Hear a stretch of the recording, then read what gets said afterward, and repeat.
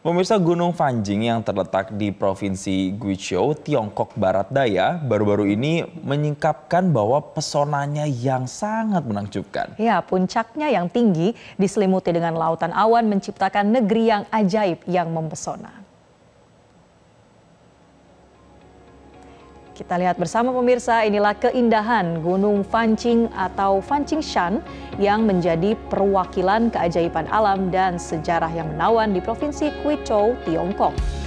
Posisinya yang menjulang tinggi di Taman Alam Nasional Shan memberikan pengalaman wisata yang tidak terlupakan bagi pengunjung domestik maupun mancanegara. Dalam sejarahnya, Gunung Fanjing memiliki kuil kuno yang penuh keagungan, dikenal sebagai Kuil Fanjing. Kuil ini menjadi tanda perkembangan sejarah Buddhisme di wilayah tersebut. Taman Alam Nasional Fanjingshan yang mencakup gunung ini diakui sebagai situs warisan dunia oleh UNESCO.